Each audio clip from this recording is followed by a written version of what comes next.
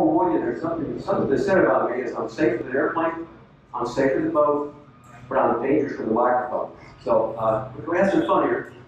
Anyways, uh, I wrote a book about uh, my dad's airplane collection called We Can Find the Backyard. Uh, I have some copies available here. I signed up for Authors Corner, but did not make that, so that's fine. But I have a few if uh, y'all are interested later. I have a little fun here. Uh, that's the publisher picked that cover. This is the cover I wanted. Jim Clanford and Son Old, Old Airplanes Home by Jethro. That's me and Dad by a TBM fuselage behind a Clover 57 Chevy Suburban about 1970. And for some reason, the publisher rejected this book cover. And, and uh, having more fun with the book, it's read the EAA. I put a little sticker in there like you see in experimental aircraft. but I just changed it a little bit. FAA passenger warning. This book was amateur written and does not comply with federal safety regulations for standard books. So I just had a little fun with myself there. So, uh, here we are, AirVenture. Uh, this is my dad, Walter A. Soplata, but uh, uh, he's in his late 20s with an American Eagle. It was the first airplane he owned. He paid 100 bucks for it, sold for like 500. Uh, it wasn't airworthy when he flew it, but it was shortly after he uh, sold it, and it was the only American Eagle flying in the 1960s, and was featured in many magazines. Uh, I first went to Oshkosh in 1974. I went 74, 5, and 6, and had a break. But early on, I was at Theater in the Woods, and I think it was the great Paul Harvey was uh, up there on stage. And he kind of admonished the crowd that we talk about fabric and, and steel and aluminum and electrics and all those things. He reminded folks that every airplane out here is a story about people. It really comes down to that. Airplanes are great, these are all stories about people. And some people are very extraordinary people, uh, like my father, we're about to find out. A little less extraordinary guy is this little guy by the Corsair. That'd be me, about age, uh, about age six or so. And if the weeds are tall, I'm not yet big enough to operate the lawnmower, but, but they'll get better. And I got this pipe dream uh, later on that I would someday fly jets for the Air Force, but that was a, a major pipe dream. I don't know if that'll ever happen. Uh, my father was a hardcore blue collar man, uh, not educated past the eighth grade, and college was kind of almost a dirty word in the family. Go to college of fly from the military to college education. That, that's going to come as an issue later on. Uh, who he was, Dad was a uneducated scrapman and carpenter with very limited resources, and yet he collected some of the rarest of the rare aircraft. This is not just a Corsair, it's what people refer to as a super Corsair, a F2G. It's got a giant engine on it, and only had a small handful of these aircraft. They're designed to be kamikaze hunters, airplanes that can really climb fast and intercept the kamikazes before they got too close to our ships. But they were in flight test when we dropped the A-bomb in World War II ended, so they never saw service. But they really good race plane with that big engine. So it's a rare, rare airplane. It's rare when it was new, and even rarer later on. Uh, there's assumptions about my father. I often have to explain some things that he was not, and where we were not. People would assume a guy like that was certainly a pilot, maybe for airlines or military, maybe a mechanic for a major airline. Uh, and then that we might be, what airport are you guys at? Well, uh, he was not a professional pilot. He sold this Piper Cub photo here. That's me standing by. Where I got checked out in it. It's the same tail number my father sold in the late 40s. Uh, he got about 22 hours flying Piper Cubs, and that was the end of his flying career. Uh, he had a family after that, which cost money. Uh, he's not. He got his power plant license in 1955, but he never practiced uh, being a mechanic. And we, we were not in an aircraft uh, at an airport. We all this happens in our backyard. It's a little wordy of a slide. Uh, I know I was speaking to the Air Force. They said, talk to your audience, not the slide. I'm going to cheat. I'm not Air Force anymore, so this is almost a little bit for me. But I thought a flight plan instead of an outline. We're getting to know Walter. I'm going to call him Walter instead of his dad. I want you to know my father VFR director, if you will, not through me, but through the presentation. So I'm to him as Walter a lot rather than Dad. Uh, I'm the wrong guy to do this. Uh, and I could go on forever talking about the planes he collected, but I'm going to narrow it down for you. We'll look at two of his rarest aircraft, and uh, explained how that he lives in Marvin Warbird community with some very a few rare aircraft. And then two examples of the extremes he would go through to haul a plane home. There's a lot more than two, but I'll be limited to two. Uh, we rarely had a crane or a lift at any location to disassemble an aircraft and on the trailer. Now, as I like to say, we had to make sure that gravity was a friend and never let it become an enemy. The fork in the road. As you got more and more planes, as I was growing up, folks would ask, what's he going to do with all this someday? And as his son, I had the same question. Did he have a plan for the future? Would I be part of that plan, maybe? Uh, and, and I wanted to be a pilot. Strangely enough, conflicted with where he was going. Uh, get a little bit wordy here. I've got not too many of these. It's an improbable story that never should have happened. Walter suffered many hardships as a young boy. He was uh, raised very poor during the Depression, as was everyone else in his generation. Uh, he was abandoned and abused by an alcoholic father. Uh, at age eight, he lost his father alcohol and uh, other issues. His house fire later destroyed the house, burned it right to the ground. He had built a lot of balsa wood airplanes, like about a dozen or so, but all perished in the crash, I mean, the fire.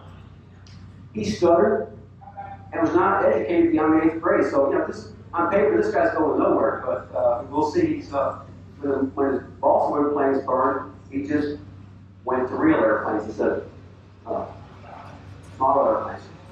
I left with some personal issues, paranoia and some distrust of others. Uh, I'm a little joke. He could cuss like a neighbor. This is a Navy-friendly presentation. He could cuss like a sailor. Uh, he lived much of his life with just a few hundred dollars available. He drove lousy vehicles and had a terrible, severe shortage of equipment to dismantle aircraft. Now, I want to point out, I don't all this to put my father down, but instead it's kind of, me, it elevates the celebration of what he achieved, of overcoming so many obstacles to do what he did. So how did it happen? Well, the first clue, which is why we're all here, he loved airplanes. Oh gosh, he loved airplanes. His circumstances taught him to be self-reliant, made a lot of his own equipment, and think so far out of the box is my view, there's no box that could contain my father. And you may think that's over the top. I got some slides coming that will back me up that he's way out there, no box that could contain this guy. Very self-reliant. He built his shop and our home largely from salvaged uh, Warbird engine crate lumber. There was a scrapyard where they were melted down uh, the crated engines from Warbirds by the thousands. Brand, you guys gonna, this is hard to say, brand new Pratt Whitney 2800, new on and on and on, brand new in the cellophane wrappers getting melted up going in the furnace. Uh, there was so much wood that uh, one guy spent all day burning it, so he has to fall safe, and I just trailered some home, and he trailered lots of that wood home, and, and uh, you'll see some of it in the slides ahead. Used it extensively throughout our home and shop. And I have a joke about myself. Uh, a lot of those boards were around when I was a kid, and they still have their stencils with the nomenclature about the engine. So my first spelling words probably weren't dog and cat, they were probably Pratt Whitney. Bolton outside the box used a junk $100 school bus called a Vought F7U Cutlass home. All 600 miles of Boston. Got photos of that. And then our family 57 Chevy Suburban, a straight six engine shipped to three in the column. We hauled not one but two B-25s, A-26, and I not one with other big aircraft. So that's just wouldn't think it'd be possible. To this first of his rare aircraft. This is again a better picture of Corsair 74. It had won the Cleveland National Motor Race since 1947, mostly thanks to that giant R4360 engine. There's race pilot Cook Cleland. Uh, there's an SBD Dauntless here. Cook Cleland was a war hero flying the SBD in World War II. He actually got five kills air to air flying a Dauntless, if you imagine that. And he was given half credit for sinking a Japanese ship. He was also a friend of Admiral Halsey, but that's another story about how he got all these four Corsairs. He got more than one. This again a shot of 74 at the air races, done by Cook Cleland. This is in our backyard now. This, this people visiting our backyard. Corsair 74, the column there by them. A BT-15 behind that. Not a 13, a BT-15, I assure you. Uh, T-50 Bobcat behind that. So the first airplane I hauled with my father, by the way. Here it is the snow. That's me by the prop lake at age 12 in 1965 in the good Ohio snow. You can see how big that propeller is. Oh my gosh. There's a shadow of Dad in the lower left corner. Uh, at, uh, that's just fun. This is my, I'm, I'm saluted here in 1956 at age three, I guess. It's probably by an Air Force airplane. I guess that would foretell what's coming with sisters. On the right there is Sister Margaret in the back of the room with your Sister Margaret. Um, say, if there's a saint in my family, it's Sister Margaret.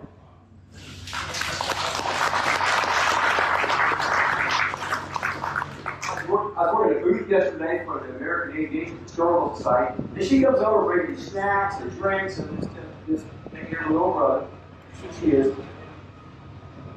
A pretty good famous Corsair is painted by Charles a very famous painter. I actually shot this photo. I'm a retired FedEx pilot. This was in flight operations at Federal Express when I was a pilot there. And 10 years ago, Robert Odegaard was here. Me with my wife Lisa and Robert Odegaard 10 years ago at AirVenture. And most folks in the crowd know tragically Robert was lost in the crash about six weeks after the photo was shot, and uh, of course, there was destroyed. But, uh, Robert was well beloved by the Warbird community, and uh, uh, so never be forgotten by the, folks here that do such a great man.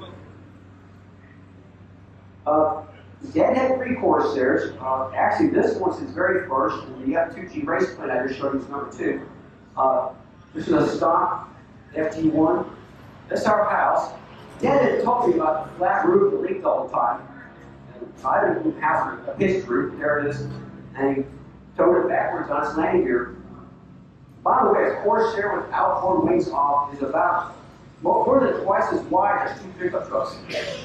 So you know, was paying about 40 miles that way, just driving vehicles and whatnot. Uh, little trivia. This airplane, same airplane, uh, known as the City of Painesville, also known as uh, Lucky Gallon. It was uh, Cook Cleland loaned to a woman named Marge Hurlburt, and she used it in 1947 to beat Jackie Cochran's speed record of all, of all people, Jackie Cochran, uh, speed record. And Jackie's record was 292, and Marge got the course record at 337 miles per hour. Of course, Jackie Cochran would later go, go supersonic and jet and set a whole bunch of new records. This is the cockpit. I'm retrieving it four years ago, Ohio. Uh,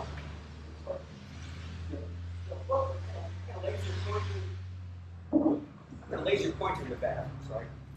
Pardon me for the that, but you, I use it, that's, I love that. Make it shorter if you want. Okay. That's awesome. So, uh, there's the, uh,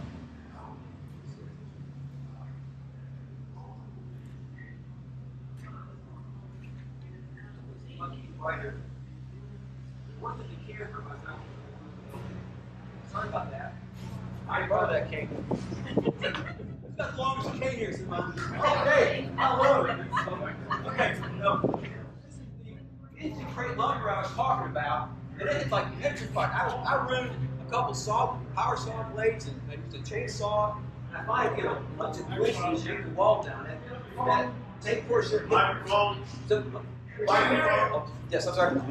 That uh, at the end that wall down with the wind, that, that plane kind of hidden that building for about 60 years. Finally got it out. Uh, a lot of that Corsair was scrap. Again, that was a scrap thing. Uh, food on the table. We had sometimes scrap airplanes like everybody else did at that time. This is the center wing of a C-82. Uh, you can see Corsair 74 barely in the back. That's uh, Sister Margaret, already introduced, and Sister Barbara, my father. There's the C-82 at the center wing missing. Uh, that fuselage is still in Ohio. Uh, that's the exact same type airplane that Jimmy Stewart uh, encountered in the original flight of the Phoenix. You see a big boom back there. This is a homemade boom from my father made. And uh, the first of the three of his old tractors he made. And again, I'm calling him Walter for you instead of Dad. Um, already mentioned that here he is in the cockpit of a B-36 of all things. I mean, a 10-engine giant. Nobody else had one outside the military, but he got one. Uh, so, and here's, here's Walter Weiss second twin Mustang. This guy's a hoarder of Corsairs and twin Mustangs. He had three Corsairs, two twin Mustangs. And about 1990, Happened. everybody would call this Christie F-86. It, the fire department had practiced with it a little bit, so the bottom, bottom skin was kind of rumpled to break from from heat damage. But if it was made an airplane nobody else would want, except he my father, he'd want it. He'd take an orphan airplane that nobody else wanted, well, I'll save it. That's kind of this thing. Here he is with uh, a, pre-ejection seat F-80. It's that old, one of the very, very early P-80 jets. Uh, he's standing by the long nose gear of the Cutlass jet we're about to soon talk about. A very long nose gear. Here he is with, again, the F-2G Corsair 74 back in 1971. In the background, you can see the, our second B-25 and a fuselage an A-26.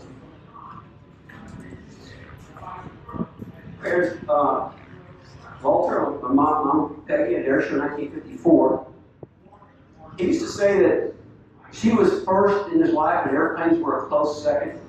There were times I had trouble seeing the order of being that way.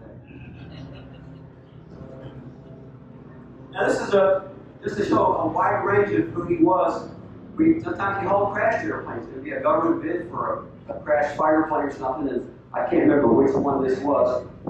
But I saw this on a blog where somebody asked, uh, was he a scrapman who liked airplanes?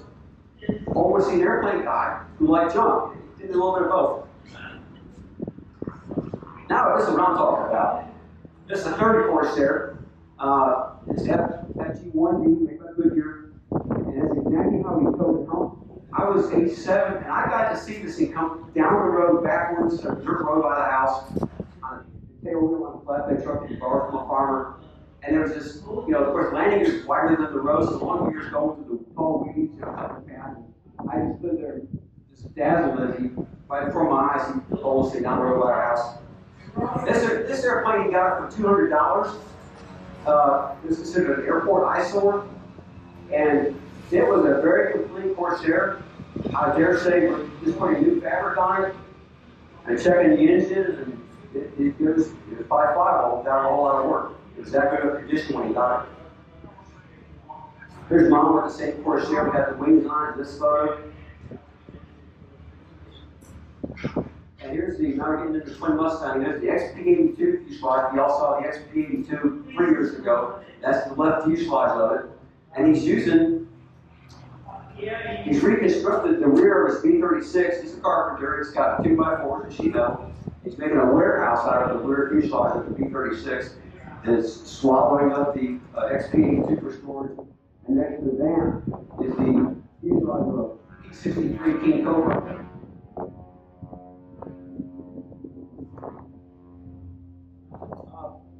This is the XP82. It had an accident at Cleveland with uh, NACA before it was NASA. It skidded off the taxiway, whatever. Um, got some bent propeller blades, got in the mud. And this kind of you how a guy that so little means to collect airplanes.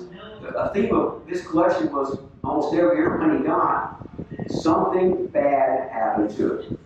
It was not going to be repaired by NASA. They just wrote it off, sold it at three hundred dollars in the scrap bin. Uh, there are plenty of surplus airplanes, and you damage an airplane in 1950, just go get another one. Uh, they, they didn't repair stuff that got banged up like that. Uh, here's the A26 he got. It, uh, oh, got the runway in Meigs Field in Chicago and then to Lake Michigan. Uh, I have a joke as the airline pilot always talks about sink rate on finding pattern. So monitor your sink rate. Well, landing in the water definitely adds to the phrase sink rate. Uh, but again, it was the damaged aircraft, that's how he got it. Tom Riley, a lot of folks know here, he's flown both the A-26 and the P-51. He tells me that at 5,000 feet, an A-26 is faster than a stock P-51. That's what they became executive transports, as this one was when it crashed. There's a picture of the Yanmar A26 before the accident, same, same tail number. And then back to this idea of damaged aircraft. Well, Corsair said before it blew its engine in 1949. And there were no surplus R-4360s. They were building B-36s and C-124 Globemasters, that kind of stuff was coming. So if you wanted to replace the engine, you had to go to Pratt Whitney and buy a brand new one. Nobody had the, the wallet for that, so it was it was done, flying. And Dad got this Corsair for five hundred dollars. Uh, there's a KC-97 tanker. The story was it was overstressed by the pilots decided to do aerobatics for the KC-97 tanker, so it was junked and detonated another warehouse. This is fast forward to 1971. Uh, he felt that the zoning board would probably not give him a permit to build the building, so I'll just haul a big airplane home and use it as a storage building. Uh, he could not get off his carpenter job that summer. They were just way too busy. So at age 18, I hauled this thing mostly myself. I mean, it's crazy, but uh, that's me by the that's me by the, by the 97 right there. Thank you, Dad. Uh, uh, Wild Carl's airplane did landing gear up in Cincinnati in 1963. Uh, so again, uh, something bad happened to it. It's available for a very low cost. Dad paid $500 for that airplane. Back to the F-82. Again, it's going to fly again. Well, this same XP-82 on the cover of Sport Aviation four years ago. Same airplane. On the cover of Air Classics. Aerospace. Play tags. And, and I've seen a cover, Wild Cargo B-25, Jerry Higgins' uh, uh, program for uh, air show they had there. Of course, got 74 on the cover. Uh, Corsair 57, this was not our plane. I bring it up for two reasons. People have almost cussed me out when I say outboard wings on Corsairs have fabric. They go, oh, that's a bunch of BS to think those 400 miles an hour. Well, you can see all the rocket fabric on the wings. This uh, airplane was only 10 miles from our location. It was not our airplane. It was another one of the F-2G racing airplanes. And well, Robert Odegaard restored that airplane, uh, and not without help of my father. By the time that plane became a basket case, and it just got the basket case status got worse and worse and worse, and folks said it was not restorable. Things like the motor mount was missing, the canopy, just one of a kind airplane, a lot of stuff was missing. So my father loaned Robert some parts of the Blue Corsair, as well as let Robert take, take the cowlings and stuff off, look at the exhaust system, those kind of things. So Robert spent a lot of time looking at the Corsair 74 to restore at 57. To give my father credit for that. Here's Dad in his own airplane article, uh, Sport Aviation, 1971. Uh, I was a high school senior when I knew who Paul Coleridge was. They showed on our property on a Sunday, and uh, with him was a man I did not know, but the author of the article is Ray Scholler of Camp Scholler, which almost seems a tear in my eye that I, I was standing in the presence of Ray Scholler, didn't know who he was 50 some years ago. I'm going to sing a song here. I made a song, the old Rolling Stones song when I see my picture on the cover. Well, I'm going to, to sing that. I made some lyrics more about it. I want to see the XP on the cover, but we won't go there. If, I if somebody wants to. Don't take it. Okay, I take it. Uh, here's the second twin Mustang. It's an F-82E. And that's all of us kids trying to check the spar structure. Uh, I'm the little guy on the left. See, I spell it better. This is uh, Barbara, Rita, and Margaret. Your Margaret's on the far side of the right. So you know, we grew up with these things. They're shot on the F-82E. It's a very large airplane. Uh, Dad would get questions, the phone calls. Folks saying, "I want to buy your Mustang because I don't have a Mustang." Oh yeah, you got two of them. Depending on the photo angle, they thought they saw two Mustangs. And Dad's like, "Well, no, uh, it's the same airplane. You won't get sell it anyways." Carl knows about that. He wouldn't sell stuff for a pretty while. Another shot of the F-82, kind of looking down on some other aircraft. We've got the uh, the, the P-80 jet. They're, kind of in here. P-80 jet there. Wild Cargo, the B-25. Neighbor's house. There's a you know. There's a couple of shit we'll soon talk about. and our second B-25. All kind of all kind of packed together there. Okay, Wally World. This is not a Chevy Chase vacation movie. I promise you that. Uh, 1961, I get involved in hauling airplanes at age eight. Dad and I hauled this bamboo bomber home. You can see there's a whole lot of airplane on not enough trailer. And that theme is going to just keep on, on, and on. Uh, my job was mostly taking the screws out from the wing tail fairings and little stuff like that. Again, we had no crane or forklift. It's a long story how we got this thing on board, we got it on board, got it home. Uh, and it, just a Clunker 52 Ford, and it's, I mean, you got all. It's soon to go bye-bye. The school bus in the back is going to have a very interesting future very soon. Okay, during my years, this is mostly a complete list. I won't go through it. Stuff that we dad and I hauled together: the, the Bobcat, the T28, uh, two B-25s, Lockheed Shooting Star P-80, SNJ Texan, the Yanmark uh, A-26, TBM Avenger, two of those, BT-12 Sophomore, O-52 Owl, uh, Douglas Skyraider, two of those, and the F-84. There's a whole bunch of engines and other stuff out the school book but yeah, we, kept me pretty busy. Okay, this is the. Now he thought I was uh, going over the top about Dad thinking outside the box. Here we go. Uh, the F7U Cutlass. He saw an air show in, in uh, 57 or so. Uh, I'm asking for any airplane experts. What airplane's kind of hiding behind the Cutlass little airplane test here? Good. Excellent. Excellent. Wow. I, I just happen to know that. Good.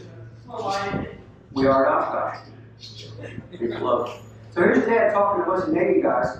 Now, when I went to military disposal yards with my father many, many, many times, and you normally work with the civil service people. Well, they called in the brass because they got this really unusual guy who wants to do something really unusual. So there's Dad talking to uniformed Navy people, which is not the normal thing at the disposal yard. He's explaining he's going to put this cutlass in that school bus. There he is, but he gets the approval to do that. Did I mention Walter thinking outside the box? There's a crane holding up the fuselage, and part of the story Dad tells you you can't see in the photo. He had to cut the roof of the torch; it just wasn't big enough, and they actually they got stuck trying to get in there. They put a bulldozer behind the fuselage, and Dad put on the brakes, the wheels chalk, and they just pushed it with a bulldozer. And he told the story that there was screeching and popping and loud noises in the bulldozer. And also it occurred to him, if this thing cocked sideways while it's coming forward, it could crush me driver's. You know, nobody will hear me until it's too late. And he got the, the radar nose right up against the dashboard. Uh, it's just crazy. He did it. You know? And I call this, this is, I call this photo Walter the Conqueror. He's up on top, he's all loaded. He's got a little trailer behind it. And, and the Navy guys, finds out they're placing bets on whether he'll make it or not. And so he asks the crowd, he says, well, well, how many people think I'm going to make it? And the answer is, nobody thinks you're going to make it. The highest bet on base is 50 miles. He's got 600 miles to go. And there, of course, you know, when you go down the highway, you've got to have your license plate. So he forced off the back of the bus, license tag, and stuck it into where the afterburner would go for the jet. That's the most aft thing on this load. He applied the law. And then here's that home. Uh, and before we get to this reconstruction photo, so he finally, he's been gone a week, which is really, Dad's never gone that long. He finally comes home at like 7 in the morning, just driving all night. And mom won't let anybody out of the house and he's done with the vehicle, has to park. So as soon as he's parked, I run down the stairs. I'm 8 going on 9. It's a standard school bus, and the doors open. I look in the doors, I just see aluminum. Where's my father? Now, hear this scuffing noise.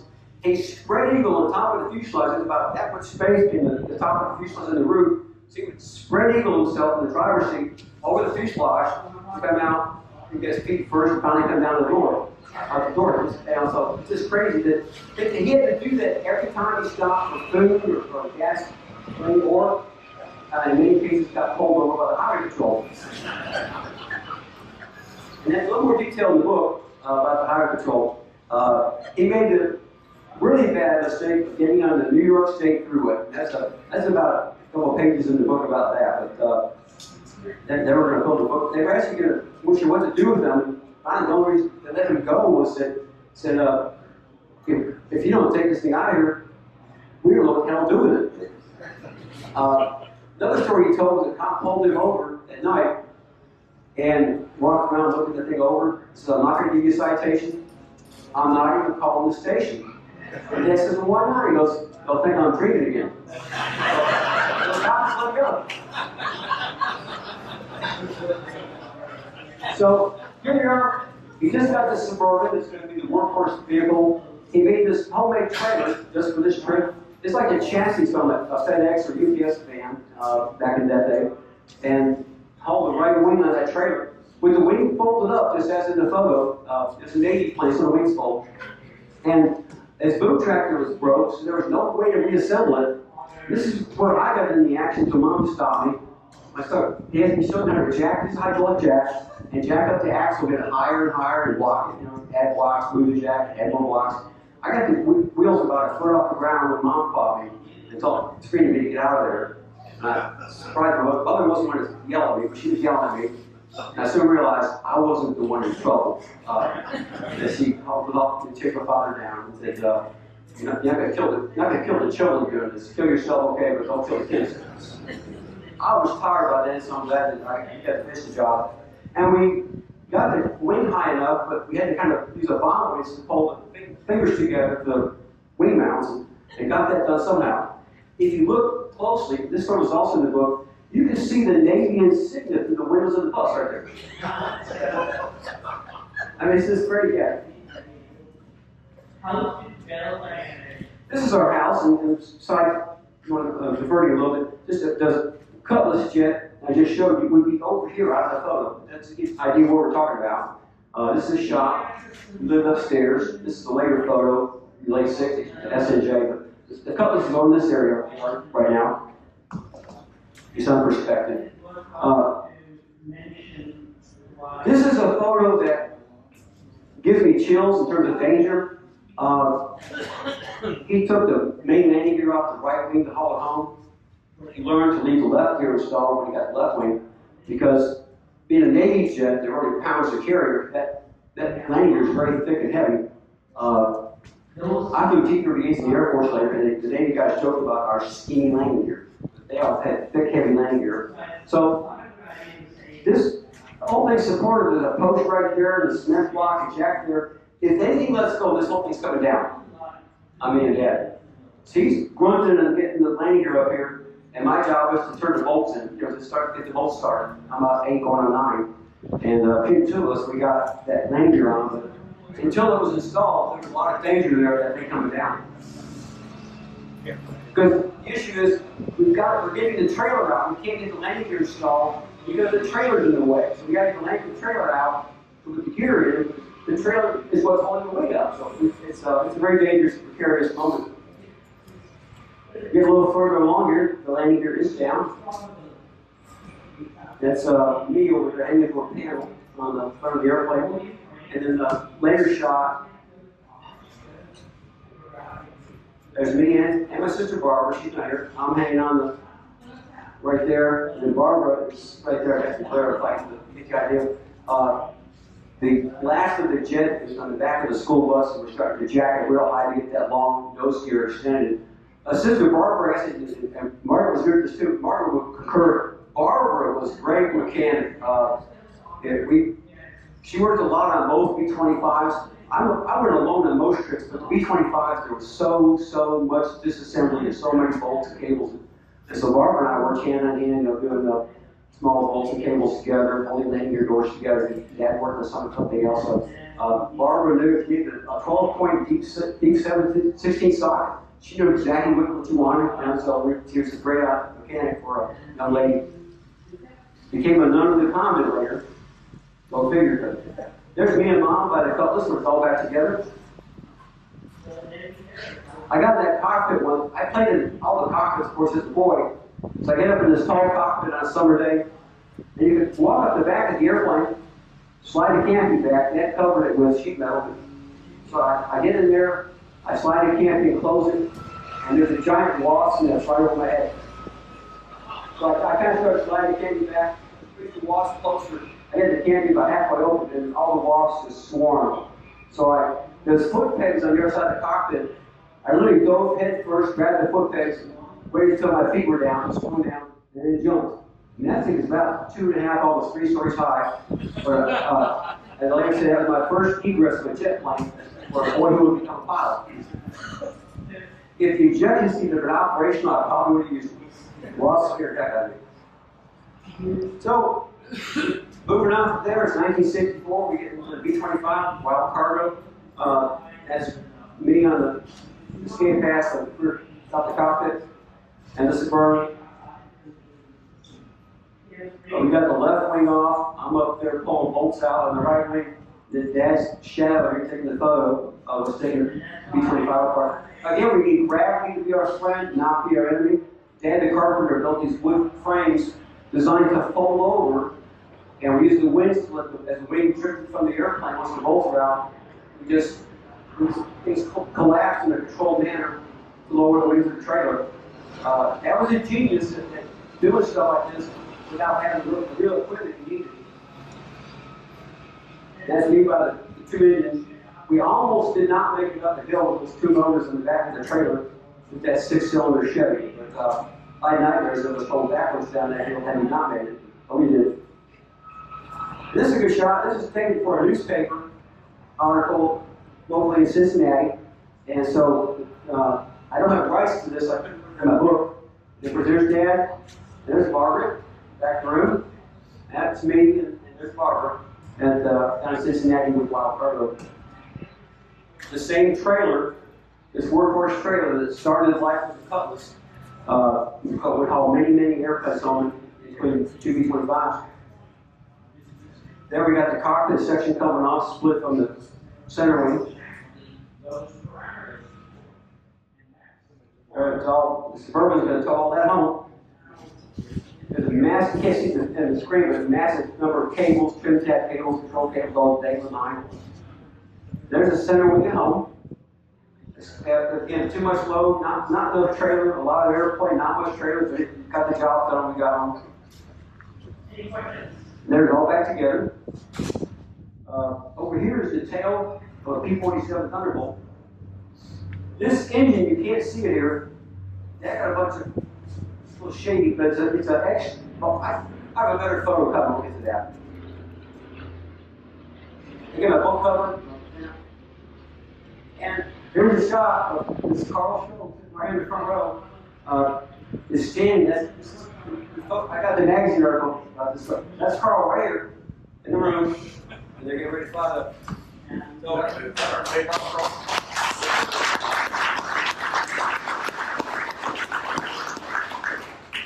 how long was that grass strip? Uh, 2,300 feet. Obviously, didn't come back and land there, but uh, Trees at one end and uh, uh, a water filtration plant and and condominiums at the other end. That was the downhill side. We went the uphill side, we went through the trees. oh, I just can't imagine. Wow. And that's something else. Um, again, this, this story about people. Now, I was watching this uh, movie, The Imitation Game, with- Benedict Cumberbatch plays uh, Alan Turing, where they're working on a machine to break the German code in World War II. And, and, and there's a saying in the movie, sometimes it's the people who no one imagines anything of who do things no one can imagine. So I, I think that fits my father. Let's go through some slides. I, I, this, I mean, this is a slide I talked about earlier. This story should not have happened. This guy's uneducated, he's got no money, he stutters, uh, comes from a broken home, but he gets this done somehow. We had a SNJ haul. We didn't have a pickup truck, so I put the tail, put the doors off the Suburban, and just put the tail on the side of the family car. Why not?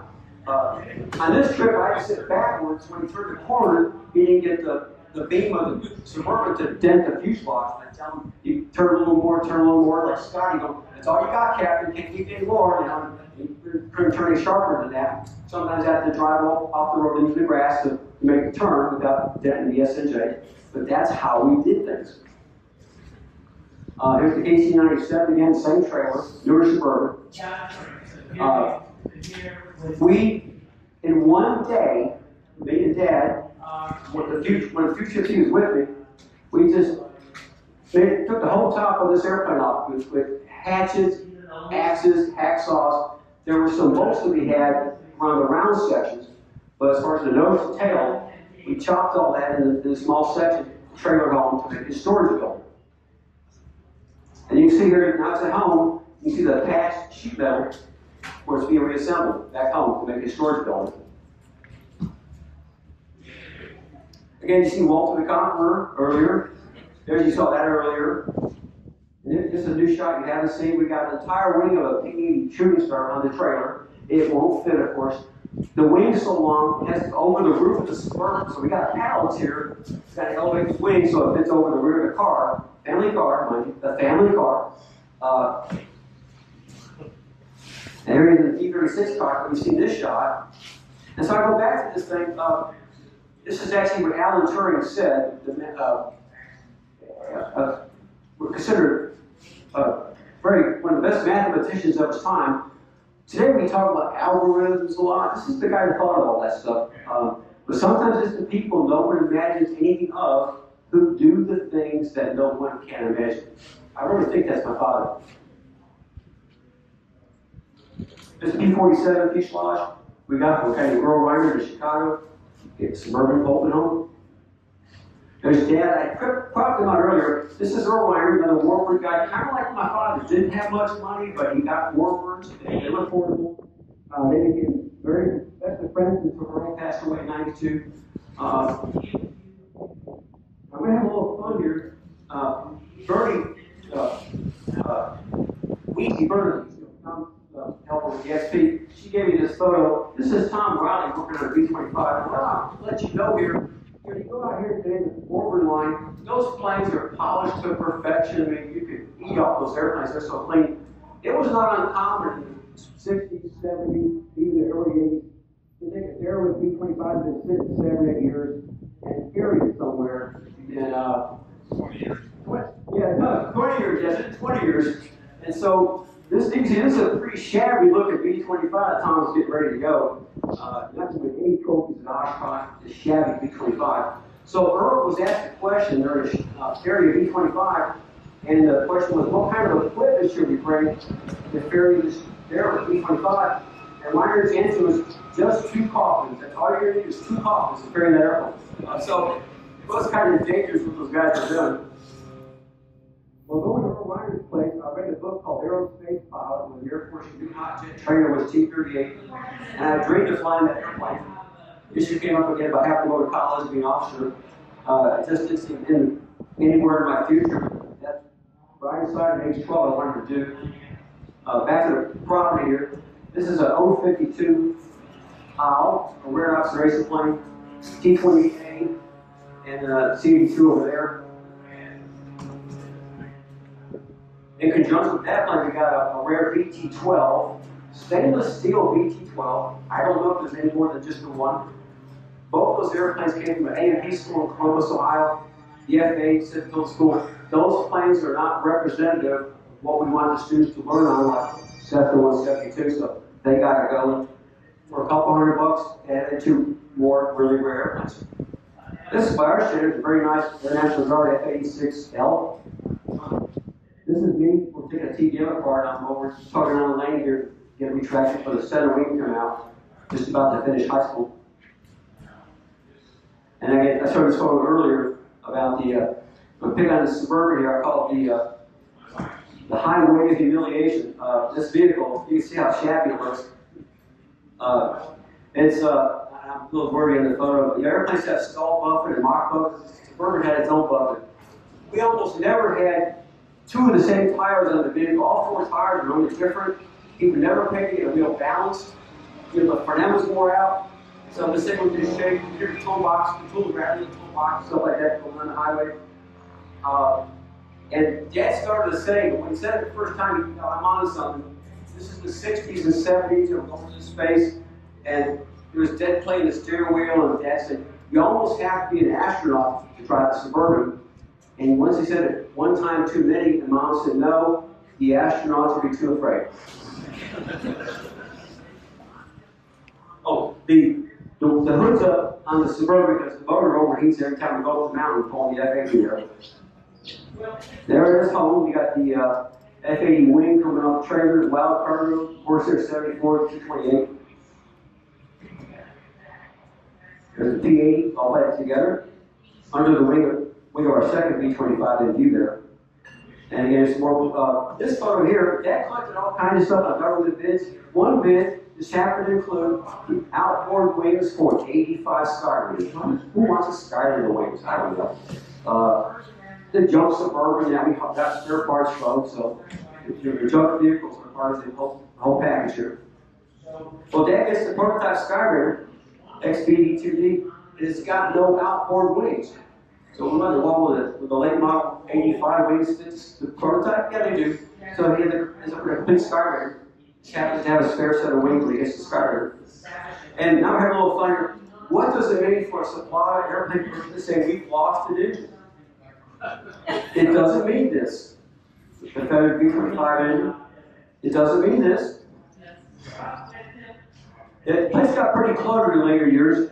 Um, what it means is we're trying to find a big engine and it's just it's, there's, it's buried under a bunch of stuff. So uh, I spent a year and a half. This is a, a German Jumo 212 uh, inverted V12 engine with radiator on the front.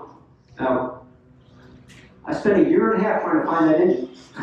It's just buried under a bunch of collie issue metal. Finally found it. And Jerry Yagen has it now, by the way. Uh, now, I, I, I I'd get back this engine. Uh, it's an X24 Allison from 1916. It's in the museum in Connecticut right now. I read the data place myself. It said the Allison Engine Company manufactures number one.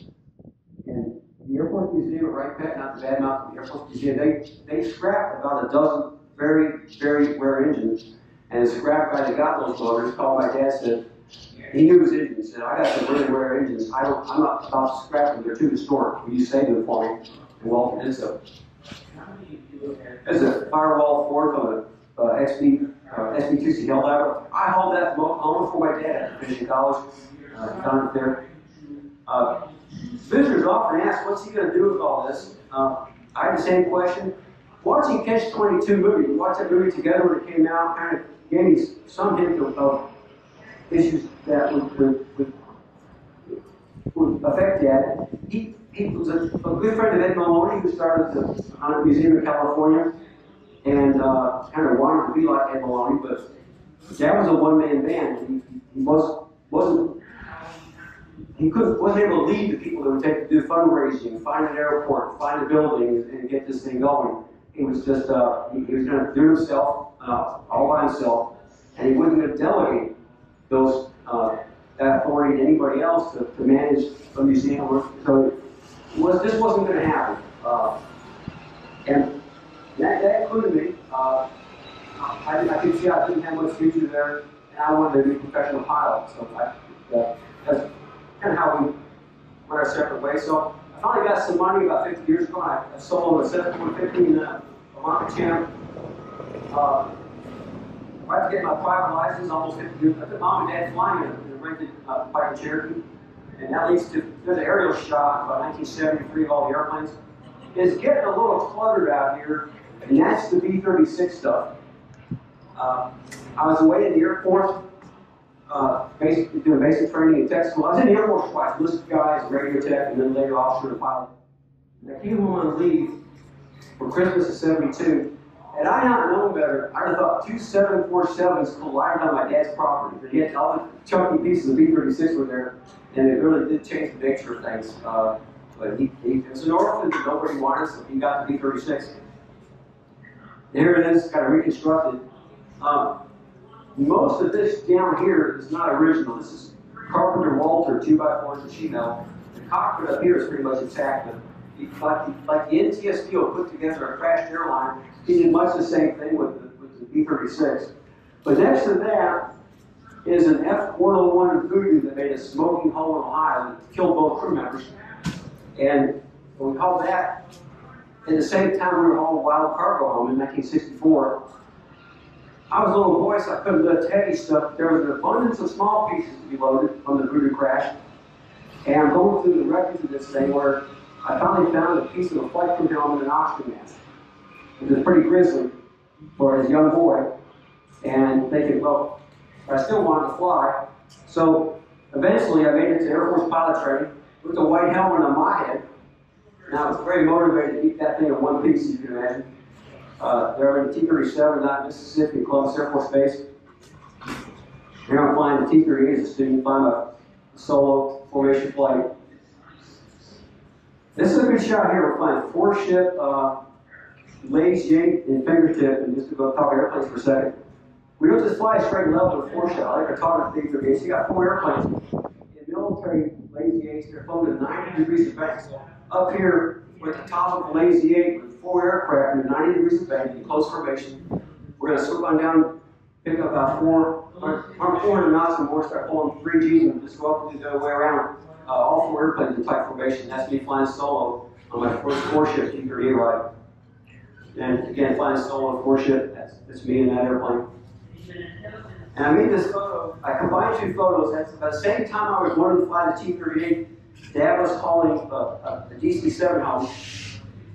And so we definitely went different paths at this point in our lives. Had a little fun with this. Uh, Big Wally was a popular spray cleaner in the 1970s. I never helmet that way, Big Wally. He was a sporty guy. That's fun thing to do. Here's uh, by my, the hero shot, we call it, when he soloed jet, the T-38. And were, my fiance, today my wife Lisa, graduation night, in my wings in the Air Force pilot training.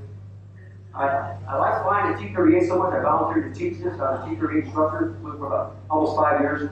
Uh, and I'm a flight commander here. This, this is an interesting photo. That's me at the front. It's Wade Carver thing, welcoming a bunch of guests here. Off to the right, you can't see him, is H. Ross Perot. Ross Perot Jr. was one of our students in our class. I was flight commander. That was a lot of fun to get to know that family. And then uh, 141, but also done with the Air Force. I fly, just flying Airbus first officer at FedEx. Bill Sturman flying on a FedEx trip with a buddy who wanted me to teach him aerobatics, and Sturman called. I could do that. Airbus captain at FedEx, they're pre-flight Airbus 757 captain. Uh, this, now back to B-25s. This is kind of a big photo. Dad was a full-time carpenter, so holidays were work days at the supply range. Uh, this is Thanksgiving Day of 1966. We also hung the motors on wild cargo. I did some work on it on Thanksgiving Day, which is a half, half work day on Thanksgiving, and then we have dinner and all that. But this is a great shot of, for the second B-25, Dad decided we would not remove the propellers, haul the engine and prop as one unit. But fortunately, we don't haul one motor at a time. It's only about 80 miles from Pennsylvania before we got to 7 B-25. And so we're trying to load, the motor on, but the boom tractor for then goes up in the air because there's not enough weight to balance the engine and prop. So all the kids are on cement blocks and steel wheels. We're all on the hood there, which we started a debate to my sisters who weighed the most. Dad and I had no part of that conversation. Uh, to what they're balancing the, the motor to, to get it on the B25. And oh, the, the hood's up on the Suburban because there's only one battery that's supplied at the state right now being borrowed from the boom tractor. And 50, 50 years later, 50 years later to the day, that's me by the right engine of the 767. I was flying on Thanksgiving Day in 2016. I'm retired this month from, from, from being airline pilot. Last airplane, uh, hauled a Neptune P2V. Uh, you can see this photo. This is his airplane. It's got snow skis on it. We knew something was weird about it. And I had an article in Air Space magazine in 2007, and a guy called me flew on a sister ship 437. He said, by the way, you probably don't know this, but they configured a number of Neptunes to go to Antarctica. They had JATO bottles, they had snow skis. He said, your Neptune, Neptune is the last survivor of those Neptunes that went to Antarctica.